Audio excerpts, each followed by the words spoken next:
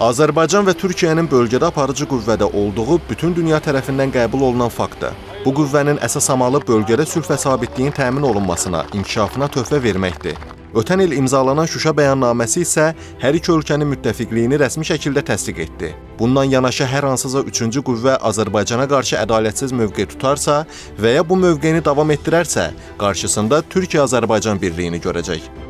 Digər bir tərəfdən Azərbaycan-Türkiyə qardaşlığı birliyi eyni zamanda Türk dünyasını, Türk dövlətlərini e, daha sıx əməkdaşlığını həyata keçirdir və bu iki ölkə, Azərbaycan və qardaş Türkiyə, iki qardaş ölkə Türk dünyasını daha yaxından bir-birinə inteqrasiya etməsini həyata keçirdir. Prezident İlham Əliyevin Türk Dövlətləri Təşkilatının baş katibi Bağdad Hamrayevi qəbul edərkən dünya azərbaycanlıları haqqında dediyi fikirlər isə hansı ölkədə yaşamağından asılı olmayaraq, eləcə də İranda yaşayan 35 milyon soydaşımıza dövlətimizin dəstəyi deməkdir.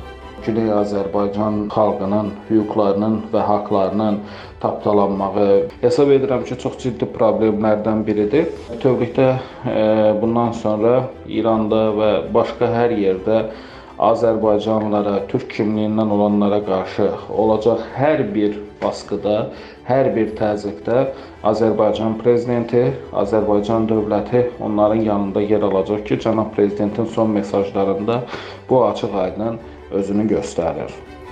Bugünə kimi Azərbaycan harda yaşamasından asılı olmayaraq öz vətəndaşlarının hüquqlarını qorumaq, təhlükəsizliyini təmin etmək üçün qarşısında duran vəzifələri yerinə yetirib. Bundan sonra dünyanın ayrı-ayrı ölkələrində yaşayan azərbaycanlıların hüquqlarının müdafiəsi, təhlükəsizliyinin təmin olunması, milli identikliyinin qorunub saxlanması prezident İlham Əliyev tərəfindən bir vəzifə kimi müəyyən edilib.